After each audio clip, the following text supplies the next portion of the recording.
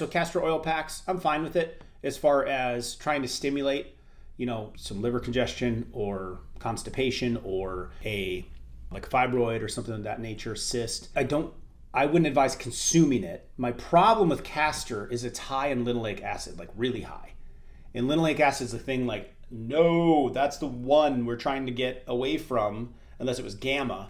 But we just want that type of seed based linoleic acid. So don't consume it. The problem is you're probably absorbing some of it. Now, when it comes to liver and constipation, we got bigger issues there. We can't just put a pack on our outside and then flush the liver on the inside. See what I mean? Because it's being created oftentimes by the things we're eating and the toxins we're taking on. So you're going to want to watch the entire liver and cleanse training.